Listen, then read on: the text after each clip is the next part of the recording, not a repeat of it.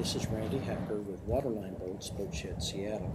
Today we're looking at a 1974 Samson C Strutter ketch.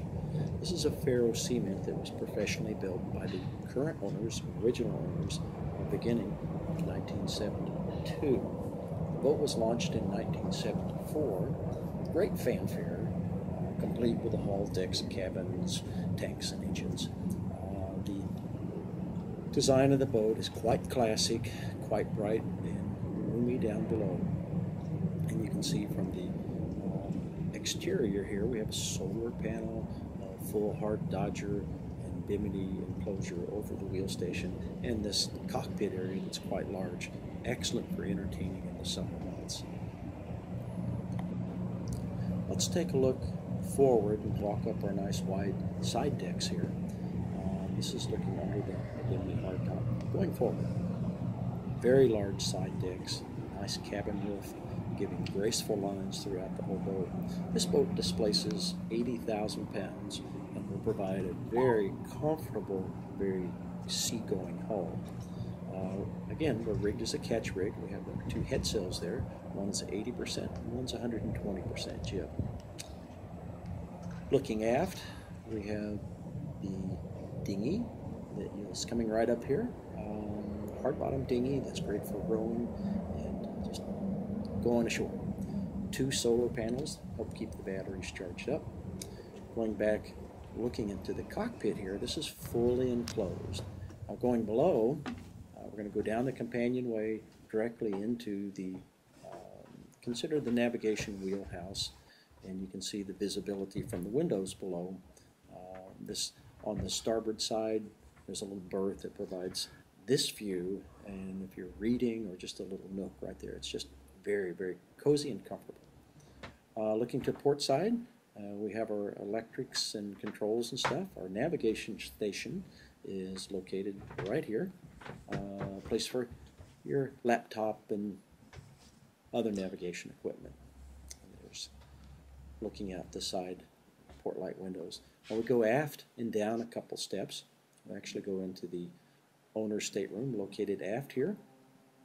Beautifully finished uh, with a leaded uh, window in the stern window.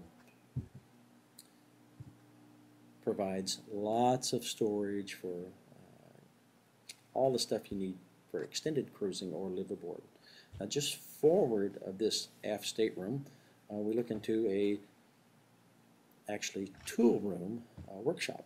So lots of storage, uh, vise, stuff, all the stuff you need for a long distance cruise uh, to be prepared for any type of uh, emergencies that might come up.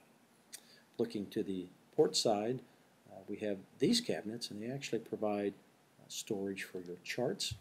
We'll go up a couple steps back to the wheelhouse navigation station. Again, here's our electrics, our engine information center. To starboard is the galley. Uh, nice deep sink here. Uh, the galley features a nice refrigerator, microwave, an Arctic diesel stove that doubles as cabin heat. Uh, in the summertime, there is a alcohol stove uh, that you'll use for food preparation. And going forward, or before we go forward, let's take a look over on the port side. Uh, a dining settee there. Quickly looking around back at the galley.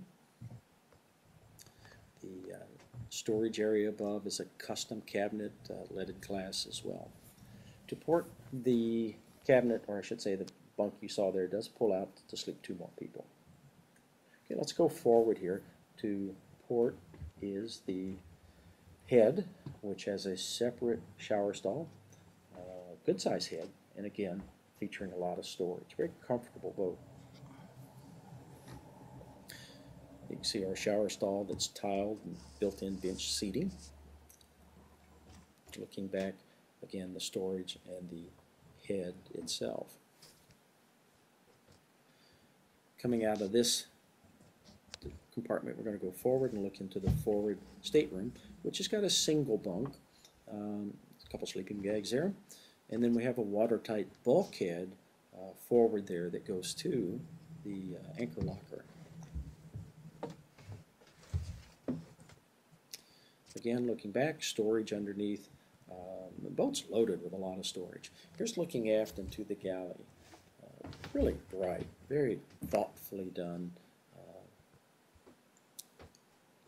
Uh, full details uh, for this boat can be found at waterlineboats.com or Boatshed Seattle.